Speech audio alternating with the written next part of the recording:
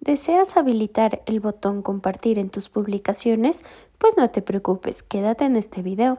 En esta ocasión aprenderemos a cómo habilitar el botón compartir en Facebook. Bueno, para ello lo primero que tenemos que hacer es dirigirnos como tal a la aplicación. Muy bien, nos vamos a ir a menú. Ahora nos vamos a ir a la parte superior izquierda y vamos a dar un clic en donde dice ver tu perfil.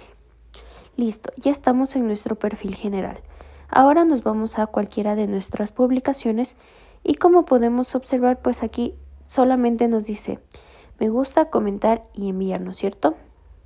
Entonces aquí mira, si tenemos la opción que dice compartir, entonces ¿de qué depende que esté la opción enviar y en otras compartir? Mira, por ejemplo, en esta publicación yo la puse en privado, por ello tiene el candadito justo debajo del nombre del usuario, ¿no? Y en esta está en público. Entonces por eso sí tenemos la opción de compartir. Ahora para poder poner la opción de compartir lo que vamos a hacer es dirigirnos a los tres puntitos que se encuentra encima de la imagen. ¿Listo? Vamos a dar un clic en donde dice editar privacidad. Ahora pues vamos a dar un clic en público y vamos a dar clic en listo.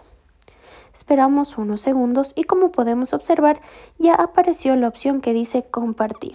Eso sería básicamente todo.